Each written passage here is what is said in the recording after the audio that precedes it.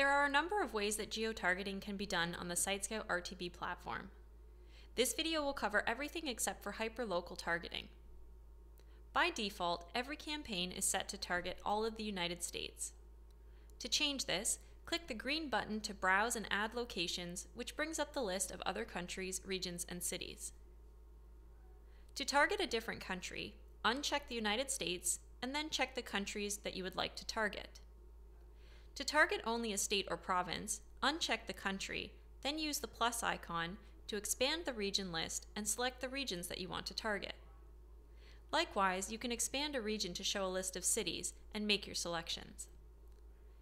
It's also possible to untarget regions or cities.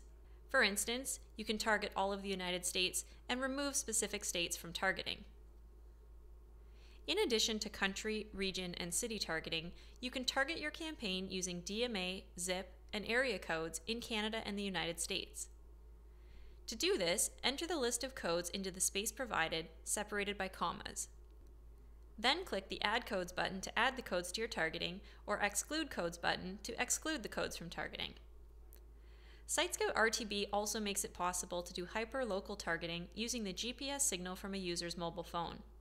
This will be covered in a separate video about hyperlocal targeting.